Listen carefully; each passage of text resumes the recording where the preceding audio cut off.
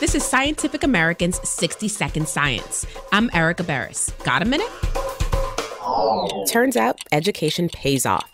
That's true whether you're a doctor or a lawyer or even a mobster, according to a new study. Researchers compared the FBI files of more than 700 Italian American mafia men from the 30s to the 40s to other non mob men from the 1940 census. Some were neighbors, others were first and second generation Italian American immigrants, and some were U.S. born white men. They found that mobsters tended to have a year less of schooling than their neighbors. But for those who stayed in school a little longer, they tended to do better economically. More education increased their income, or moolah by about 8% on average.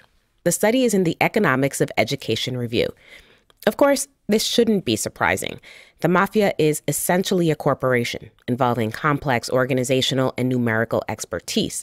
Weighing grams and running numbers takes more than basic math skills, and researchers found that mobsters with the highest return were the ones involved with more complicated schemes. Think embezzling, racketeering, and loan sharking.